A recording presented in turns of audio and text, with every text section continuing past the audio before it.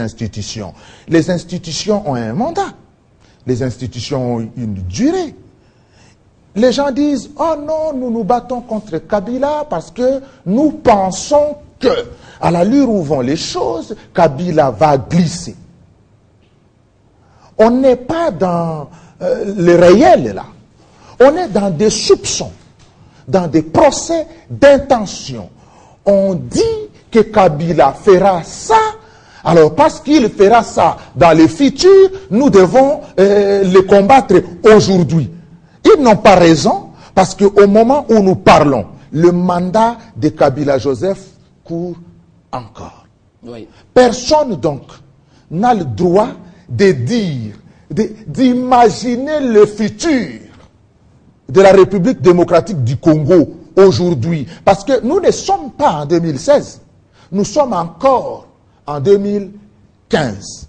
Il nous reste encore beaucoup de temps. Et ça, ça c'est une chose. Une deuxième chose. Une deuxième chose pour terminer. Dans une démocratie, la liberté est la règle. Nous devons débattre de toutes les questions imaginables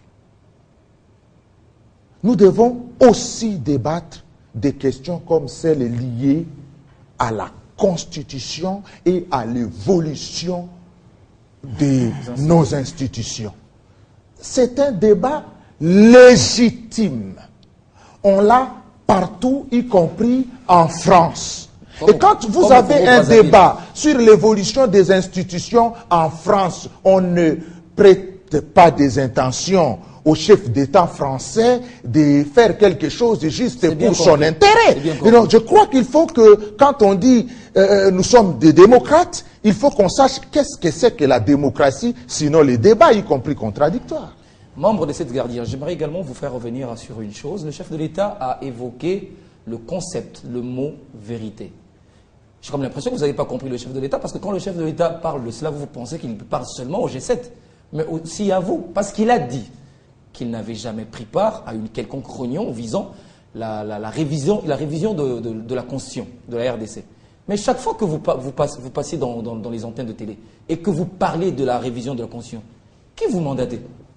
Répondez à cette question. je pense qu'il faut poser la question à l'opposition, parce que c'est l'opposition qui a toujours fait l'éloge, la publicité sur la révision de la Constitution, parce qu'elle a besoin de réviser la Constitution pour les raisons On l'a senti quand vous aviez dit que le peuple, la population congolaise veut aujourd'hui que le chef de l'État continue son mandat. Vous ne l'aviez jamais dit je Pour poursuivre son œuvre. J'ai dit ceci. J'ai dit il y a un visionnaire qui s'appelle Joseph Kabila, le président actuel.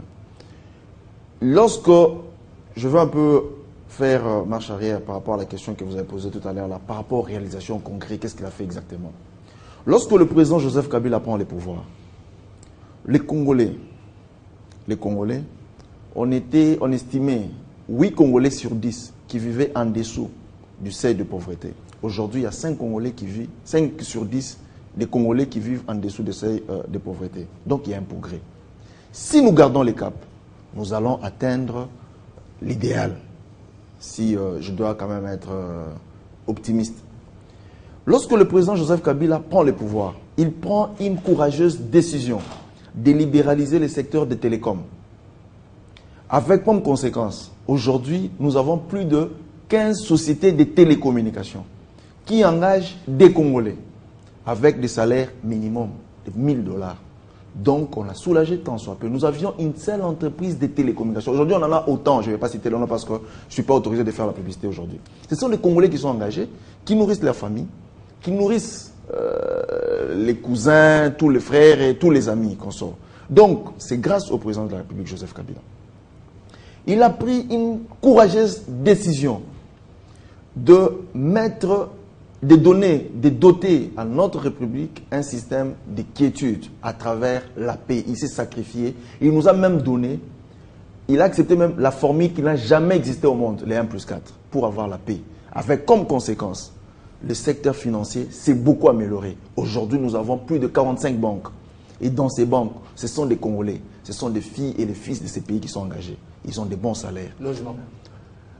En termes de logement, il y en a, ils sont en train d'aller, ils sont en train d'aller. C'est moi qui, qui évoque un exemple. Oui. Alors, lorsque nous allons aujourd'hui dans les secteurs miniers, grâce aux courageuses décisions du président Joseph Kabila, vous avez vu combien des entreprises minières se sont installées en République démocratique du Congo. Et ces entreprises-là emploient des Congolais. Ce sont mes frères, ce sont mes compatriotes, mes sœurs qui travaillent dans ces entreprises-là. Ils ont de l'emploi. Ils savent payer les loyers- ils savent se vêtir, ils savent se nourrir. C'est un progrès. Je ne dis pas qu'on a atteint l'idéal. Je ne dis pas que le président Kabila a fait tout ce qu'il fallait faire pour le peuple congolais. Mais nous sommes dans la bonne direction, comme je le disais. Ce sont des réalisations. Pour cela, je pense que le président Kabila doit être soutenu. Je pense que la vision du président Kabila, les efforts du président Kabila, le peuple congolais doit s'en approprier et faire notre cheval, cheval de bataille, la mission du président Kabila en République démocratique du Congo. Il y a beaucoup d'exemples. Le président de la République, il a permis aujourd'hui qu'on crée une connectivité entre les zones de production et les zones de consommation. Ce n'était pas possible que nous puissions importer tout ce qui était comme produit alimentaire dans notre pays. Mais le président Kabila a créé cette connectivité-là. Aujourd'hui, avant le président Kabila, on faisait des semaines pour aller au Bakongo. Aujourd'hui, c'est dans moins de 4 heures. Dans- si vous avez une bonne Jeep, dans 3 heures du temps, vous êtes au Bakongo. Et pour euh, les dames, les mamans commerçantes, aujourd'hui, elles vous diront qu'elles font des bénéfices. Parce que les temps dans les commerces rapportent beaucoup. Quand nous partons aujourd'hui à Lubumbashi, Rapidement. nous partons à Lubumbashi, sous la direction du président Kabila, on a construit l'autoroute Kasumbalesa à Lubumbashi.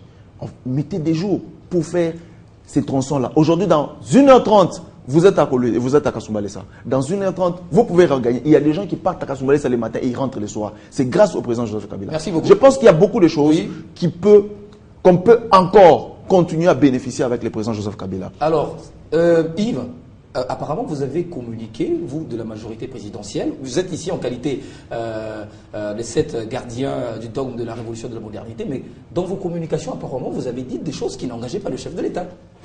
Et que vous le disiez à titre privé. Il y a tellement D'où la vérité. Merci, Florian Toto. Pour répondre à votre question, je commencerai par dire qu'il y a tellement de choses concrètes euh, évoquées ici euh, euh, par les uns et les autres, essentiellement dernièrement ici à l'instant par euh, Serge Kadima, qu'on peut continuer. Toute la voirie urbaine à Kinshasa. Ça, c'est déjà dit. Non, attendez. Imaginez toute la voirie urbaine à Kinshasa pour les axes principaux complètement reconstruits, sans lesquels la vie serait aujourd'hui impossible à Kinshasa. Alors, je ne dis pas que cet immense pays hein, euh, a suffisamment euh, senti des résultats qui vont vers son émergence. Il y a encore beaucoup à faire, mais nous sommes sur la bonne voie. Maintenant, laissez-moi vous dire la vérité en ce qui concerne euh, les choses telles qu'on doit les percevoir en démocratie et telles que nous les percevons. Le débat est permis en démocratie. Ce qui est interdit, c'est d'interdire justement le débat démocratique.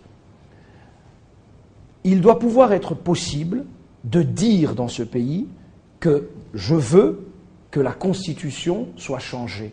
Mais ce n'est pas moi qui décide, c'est le peuple congolais. Le débat ne peut pas. Il y a une tentative de terrorisme intellectuel de la part de l'opposition dans ce pays. On n'a plus le droit de dire moi je voudrais, moi j'aimerais que Joseph Kabila reste à la tête du pays. Et s'il faut changer la Constitution pour ce faire, pour ce faire, eh ben, je crois que l'intérêt supérieur de la nation, c'est qu'aujourd'hui, puisque par exemple, moi, c'est ce que je pense.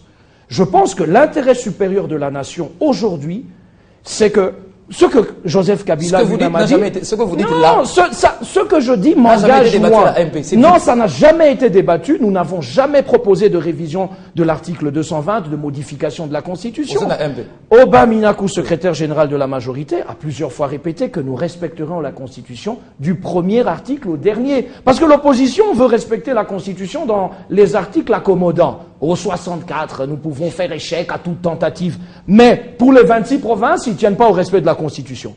Nous, nous voulons que la Constitution soit respectée. Et la Constitution n'interdit pas son changement. La Constitution interdit qu'on touche à des matières verrouillées par 220. Et nous n'avons jamais touché à 220. Mais est-ce que, bon Dieu, en tant que citoyen congolais, je peux proposer que l'on passe à la quatrième République?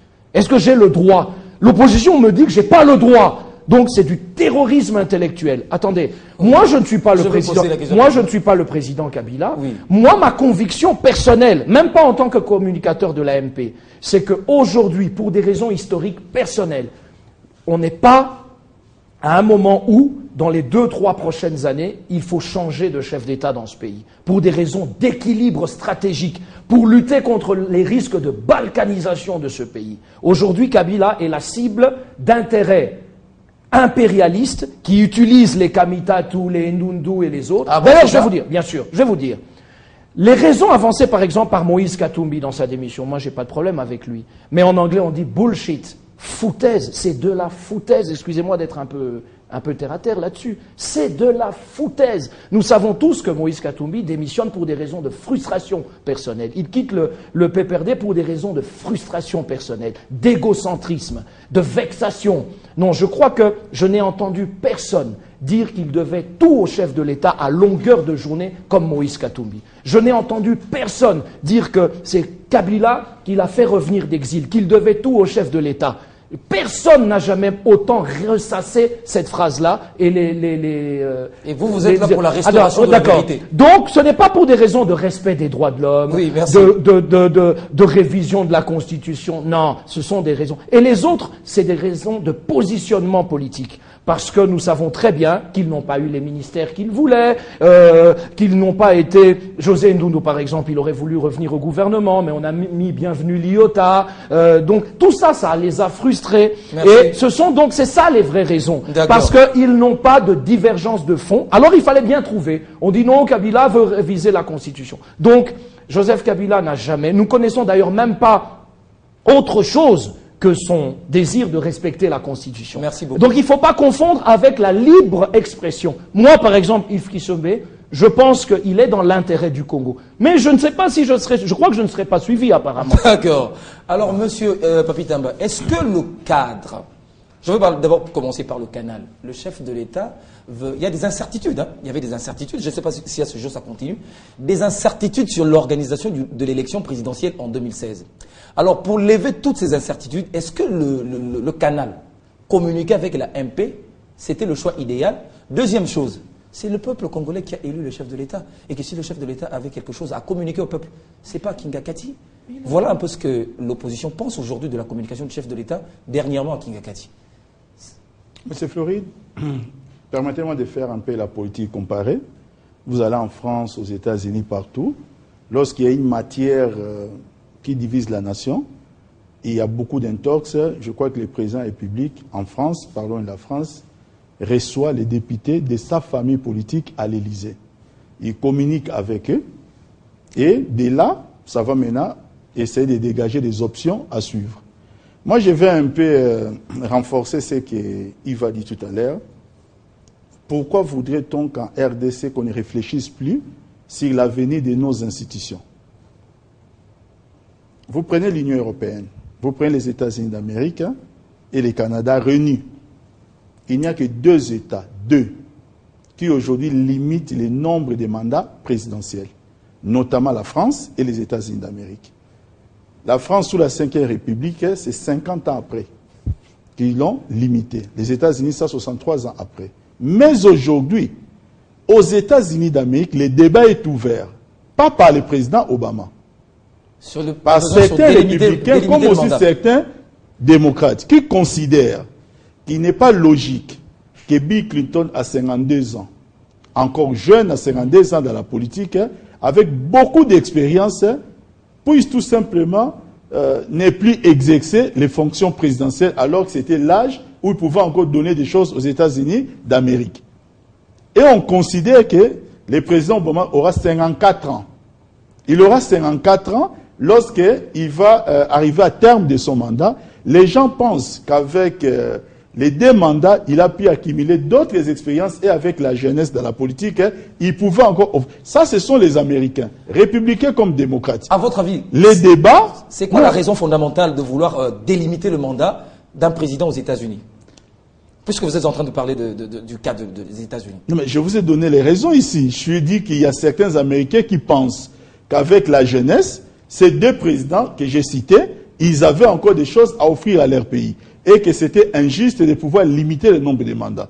Aujourd'hui, en France, il y a quelqu'un qui a lancé le débat depuis 2008 même, qui s'appelle Arnaud Montebourg, et petit à petit, il y a un effet d'entraînement où les gens pensent que la Ve République ne suit plus les pas de l'évolution. Il y a un débat ouvert, déjà même dans les milieux universitaires, où on pense qu'il faut passer à la Sixième République. Comprenez que nous parlons de la Ve République. La France, en 226 ans d'existence en tant que république, a révisé sa constitution 15 fois, pas révisé, a changé sa constitution 15 fois. C'est une moyenne hein, d'une constitution tous les 13 ans. Ça, c'est en France. Ça on n'empêche à personne de réfléchir. Comme aussi on n'empêche à personne de réfléchir hein, aux États-Unis d'Amérique, mais on n'impute pas les réflexions des uns aux autres à leur président. Maintenant, aujourd'hui, c'est quoi maintenant, euh, je vais dire l'escroquerie? L'escroquerie maintenant, c'est que la réflexion soit permise quand on est opposant, pour réfléchir dans le sens inverse, mais quand on est de la majorité, ce n'est plus permis de réfléchir. Quand vous réfléchissez, on va essayer de vous taxer de tous les noms d'oiseaux. Mais les opposants, nous les voyons continuellement à la télé, en train de réfléchir, mais dans le sens inverse. Mais ces gens-ci, demain, ils prenaient les pouvoirs. Mais ils vont nous empêcher à nous autres de réfléchir, puisque, étant opposants, ils manifestent déjà la dictature. Ce qui est très grave. On acquiserait plus la dictature peut-être à ceux qui dirigent. Or, aujourd'hui, ceux qui dirigent acceptent les débats des avis contraires des autres. Mais ceux qui sont dans l'opposition ne veulent même pas débattre de ces sujets. En tout cas, en ce qui me concerne, ça c'est mon point de vue. C'est mon point de vue, ce n'est pas le point de vue du chef de l'État. Je pense que pour l'intérêt supérieur de notre pays et pour des raisons peut-être nous pourrons évoquer dans le cadre de notre émission, je pense que le chef de l'État, Joseph Kabila, a encore des choses dans les deux, trois ans à venir, comme l'a dit Yves Kissombe, à offrir hein, à notre pays. Ça, je le pense. Alors, On ne me taxe pas de quoi que ce soit. J'ai la liberté de penser, comme a chanté Florent Pagny, vous ne me volerez pas ma liberté des pensées. Merci. Voilà. Euh, mais si vous avez cette liberté, cette liberté, elle est reconnue à tout le monde.